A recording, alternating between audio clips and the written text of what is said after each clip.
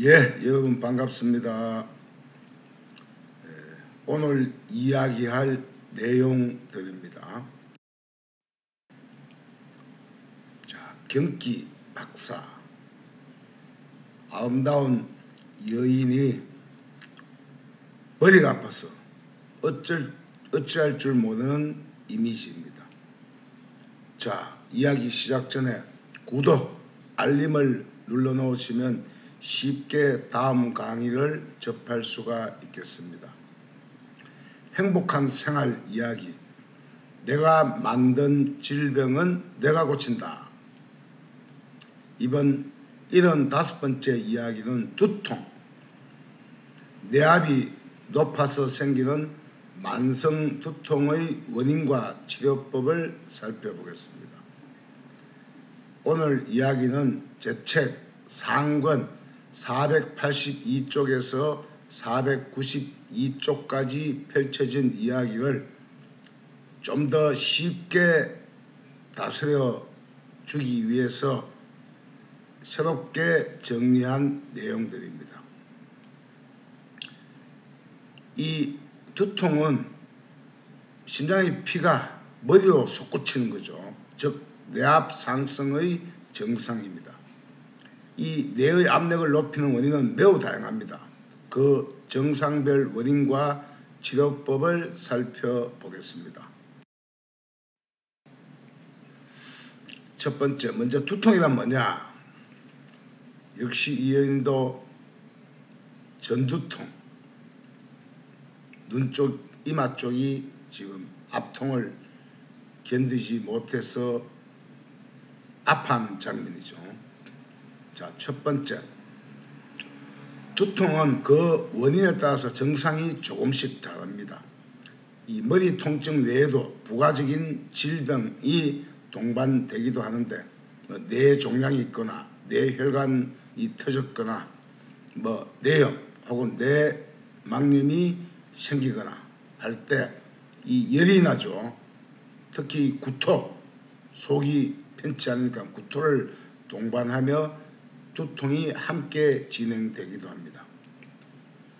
두 번째는 두통과 함께 구토 등의 여러 증세가 함께 나타나기도 하는데 특히 교통사고 후에 구토가 생겨날 정도면 뇌가 이미 치명상을 입은 것입니다. 빠르게 뇌압을 낮추지 않으면 계속 뇌출혈 등이 진행될 수가 있습니다. 세 번째, 흔히 우리가 가장 흔한 두통은 감기처럼 편도선염, 감기처럼 열이 아주 높은 경우에 뇌압을 높이죠. 또 정신적인 스트레스를 많이 받은 긴장성 두통과 혹은 신경을 과미하게 사용해서 생기는 두통들입니다. 네 번째, 또 수면 마취를 하거나 마취 후에 혹은 백신 접종 후에도 두통이 나타납니다. 이것은 주사제가 주입되어 백혈구와 사와 죽은 염증이 뇌로 집중되기 때문입니다. 심지어는 얼굴이, 얼굴이 퉁퉁 붓기까지 하죠. 다섯 번째, 두통의 근원적 원인은 감기, 몸살 등 가벼운 질환에서부터 뇌염, 뇌막염, 뇌종양 등 매우 위중한 병에 이르기까지 다양하게 복합적으로 나타납니다. 여섯 번째, 두통의 주요 원인은 뇌의 압력이 높기 때문입니다. 내 몸 안에 어딘가 핏길이 막혀 있죠. 막혀 있는 상태에서 가벼운 감기, 몸살 등 가벼운 질환에서부터 해서 뇌염증이 생겼다, 뇌명량이 생겼다, 뭐 척수염이 생겼다, 뇌종양 등 매우 위중한 병에 이르기까지 매우 다양한 정세마다 이 두통이 함께 동반되기도 합니다. 두 번째, 뇌압 상승 두통의 발생 원인을 살펴보겠습니다. 첫 번째 요인은 수족이 차고 하체 혈류가 느려서 심장의 뛰는 피가 오갈 곳이 없죠. 그럼 결국 뇌로 상승해서 압력을 높이는 냉증형이 있고 또 하나는 이 냉증이 너무 심해져서 오장육부, 오장육부의 기혈이 꽉 막혀 있으면 심장의 피가 갈 데가 없죠. 그래서 손끝, 발끝에 열이 펄펄 나면, 나면서 머리로 역시 뇌압을 높이는 허혈 정상의 두통이 있습니다. 자, 첫 번째 이 두통은 남성보다 여성 환자가 더 많습니다. 왜냐하면 여성들이 남성에 비해서 적혈구 수치가 낮습니다. 따라서 염증이 더 많이 있죠. 그래서 생리 때마다 그 염증을 쳐내는데 아랫배가 차면 그 염증을 못 쳐내죠. 그러면 뇌압을 높일 수도 있습니다. 따라서 내 몸에 혈류가 막힌 만큼 심장의 피가 머리로 솟아 올라서 뇌압을 높여서 생기는 질병이 두통입니다. 두 번째, 또 하나는 머리에 강한 타박, 어디 부딪혔다. 이럴 경우는 두통과 구토 증상이 심해지는데 이는 뇌의 구조적인 문제가 발생한 것이므로 빠르게 뇌압을 낮춰줘야 됩니다. 세 번째, 수족 냉증이나 체기, 위장에 음식이 큰 게 걸려 있다. 혹은 위장장애, 또 저기압일 때 더 심해집니다. 이 저기압은 공기 중의 높은 습도로 인해서 용존 산소가 낮아지죠. 그래서 이 산소의 섭취율이 떨어지기 때문에 뇌압을 높입니다. 네 번째는 폐활량이 아주 부족하죠. 이런 사람은 가슴도 막 크게 되는데 이 담배나 어떤 담배 냄새, 강한 냄새를 맡아도 심해지는데 그 이유는 코 안에 있는 위쪽의 후각의 상피세포가 자극을 많이 받아서 뇌 압을 높이기 때문입니다. 다섯 번째, 치즈나 초콜릿, 땅콩과 같은 소고기 등 과잉 영양 단백질이 들어가면 두통이 생깁니다. 왜냐?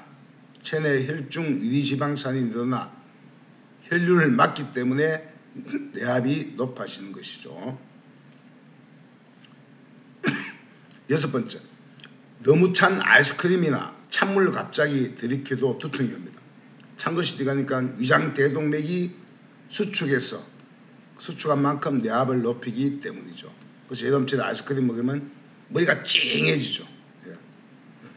일곱 번째, 레드 와인이나 술을 마시면 몸이 면역 기능이 떨어진 사람은 위장으로 넘어가기 전에 입에서 식도에서 흡수되어서 뇌로 바로 혈류량을 높이기 때문에 두통이 생깁니다. 자, 세 번째. 두통의 정상별 정세와 종류를 살펴보겠습니다. 이 머리의 뇌죠. 네. 그래서 전두엽에 아픈지, 후두엽이 아픈지, 척두엽이 아픈지 한번 살펴보겠습니다. 두통은 뇌압이 상승하면 압력이 높은 쪽부터 먼저 압통을 느낀다. 우리 인체는 가장 아픈 곳을 먼저 느끼고 그게 순서 줄을 수가 있죠.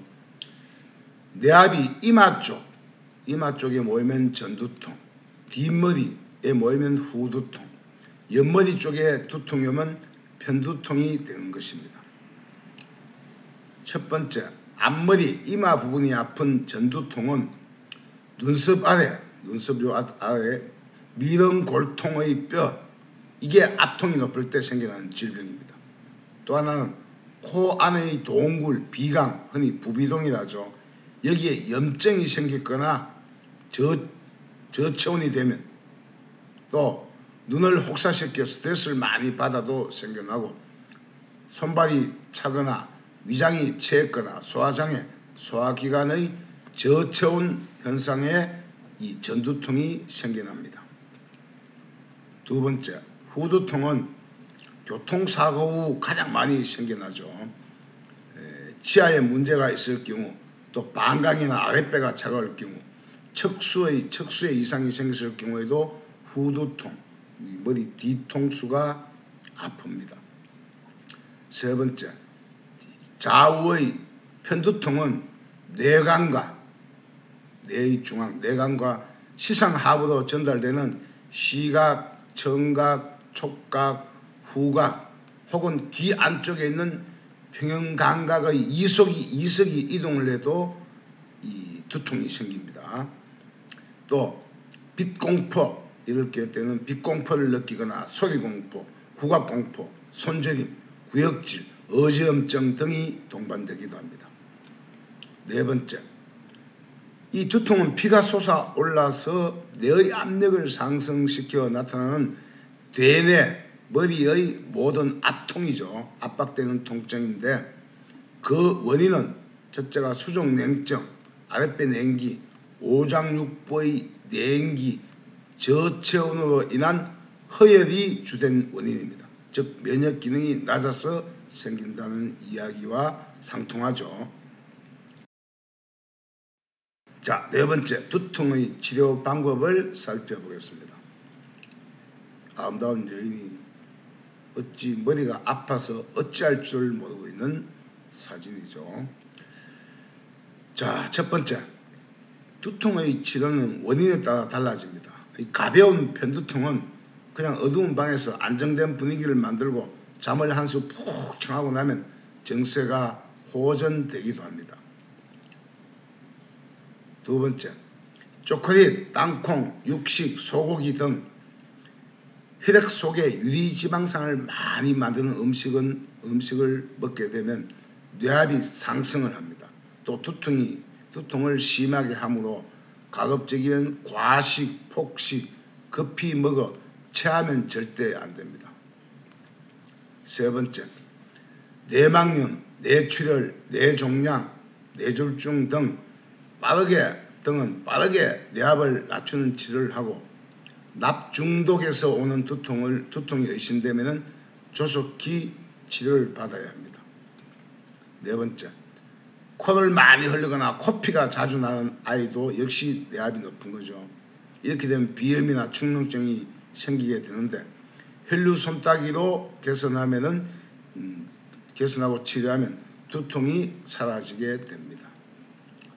다섯 번째, 눈을 너무 많이 혹사시키는 것, 즉 장시간 책을 보거나 텔레비전을 가까이서 심하게 오랫동안 볼 때 눈을 막 찡그리면서 보면 안과 질환을 의심하여 안압을 낮춰야 됩니다. 그렇지 않으면 전두통이 생기죠. 다섯 번째, 교통사고로 인한 충격경기로 두통이 찾아왔다면 충격으로 인한 농백혈과 어적혈이 쌓여서 뇌의 압력을 높이는 것이므로 이 교통사고에는 반드시 손따기로 뇌압을 낮춰줘야 됩니다. 그렇지 않으면 치료하는데 수십 배의 시간이 더 필요하고 또 만성 질환이 될 가능성이 높습니다. 여섯 번째, 전신 마취나 수면 마취 혹은 뭐 백신 주사도 마찬가지죠. 맞고 나면 3일에서 7일 사이에 두통이 생겨나는데 이것은 마취가 풀릴 때 백혈구와 마취기가 마취제와 싸우다가 죽은 염증들이 몸에 많아졌기 때문이죠. 염증을 빼내어 손따기로 뇌압을 낮추지 않으면 이게 바로 만성 두통으로 이어질 수 있으므로 잘 다스려 주셔야 합니다. 여인들이 전신 마취하고 아이를 낳, 낳게 되면은 그 전신 마취 후유증이 만성 두통이 된다는 이야기입니다. 자, 다섯 번째. 두통의 치료 방법 두 가지가 있습니다. 기본 손따기와 주화 손따기가 있습니다. 살펴보겠습니다. 그래서 내 몸에 어딘가 활성산소가 차 있다, 활액이 생겼다, 요산이 차 있다, 젖산이 있다, 염증이 있다, 농백혈이 있다, 죽은 어적혈이 있다. 이런 것 때문에 결국 두통이 생깁니다.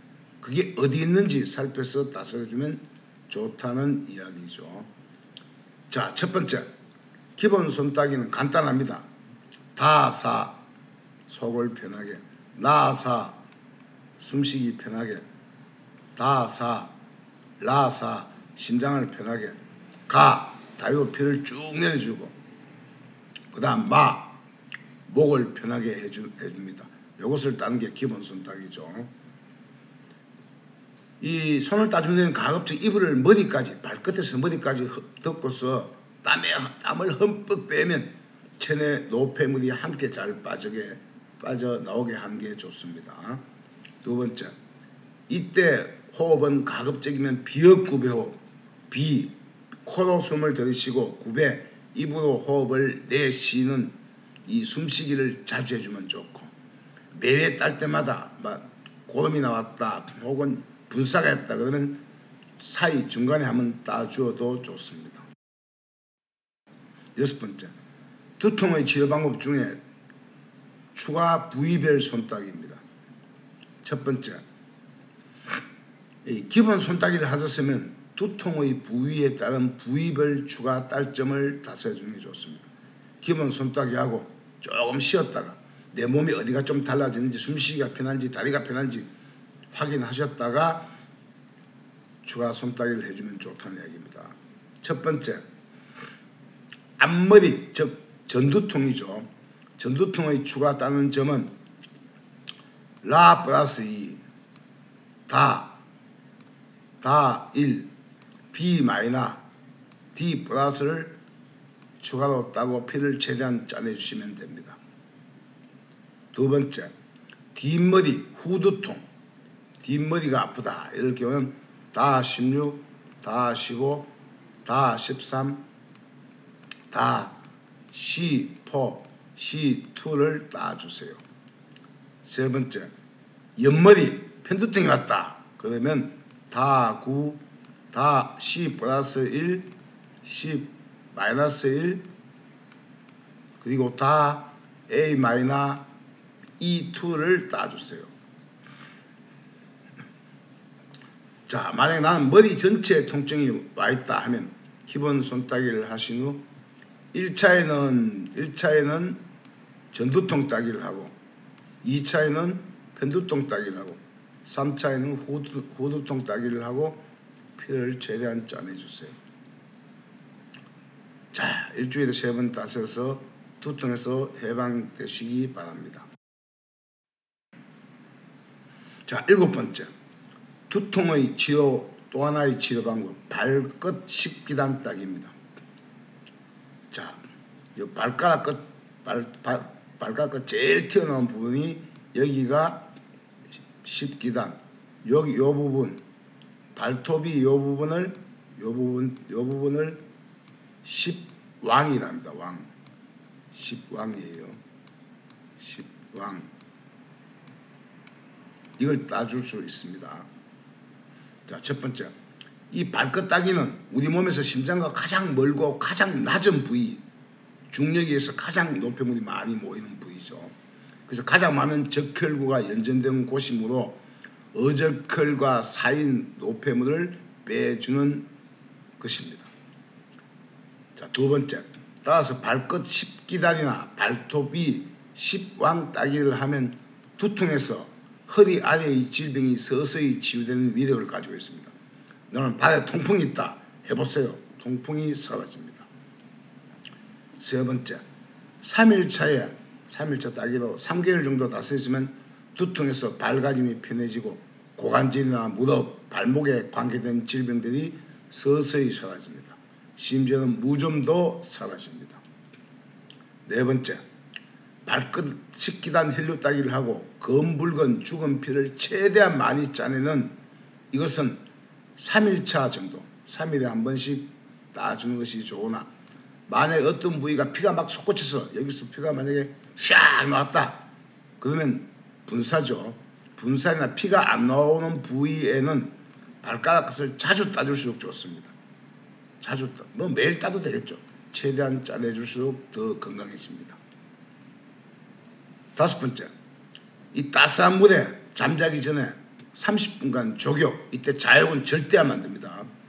조교, 이때 무조멸 을 심장 방향으로 지압하고 통증이 느껴지면 아프지 않을 때까지 지압해주면 빠르게 속도 편해지고 내압도 낮아집니다. 여섯 번째, 추가로 종아리, 장단지 밑 있죠. 옛날 우리 어릴 때 해초리 맞았던 위치. 그 밑을 누르면 매우 아픈데 이때도 아프지 않을 때까지 심장적으로 지압하세요. 아니면 주물러주든지 아니면 치세요. 이렇게 하면 두통이 빠르게 낮아지고 코피도 먹고 뇌압도 서서히 낮아집니다. 자, 이 기본 손따기와 추가 손따기를 하고 그리고 발기단 10기단 어저결 빼주기로 잘 다스리면 만성 두통에서 해방됩니다. 여러분 두통에서 해방되시기를 기원합니다. 자, 오늘 이야기는 여기까지입니다. 자, 다음 주 이미지죠. 이렇게 손에 홍반점, 이 손따기 하면 이렇게 이렇게 깨끗해집니다. 미장원 하시는 분인데 이 손따기 홍반점 때문에 손님이 없다가 준 후에 지금 손님이 터져 나가요. 자, 이야기 마치기 전에 구독, 알림, 좋아요를 눌러주시면 다음 강의도 쉽게 접할 수가 있겠고 더 좋은 정보도 많이 획득할 수가 있겠습니다. 부탁을 드립니다. 자, 내가 만든 질병은 내가 고친다. 다음 주 이런 여섯 번째 이야기는 몸에 피부에 여기저기 반점이 생기죠. 이 건강의 적신호입니다. 그래서 홍반점과 흑반점의 원인과 치료법을 다음 시간 이야기하겠습니다. 이 피부에 홍반점이나 흑반점이 생기는 이유는 체내 면역 체계 이상이에요. 즉 몸에 염증이 많다는 거죠. 그게 피부 속으로 빠져나오려고 발악하는 현상이 바로 홍반점, 흑반점, 피부 질환입니다. 예.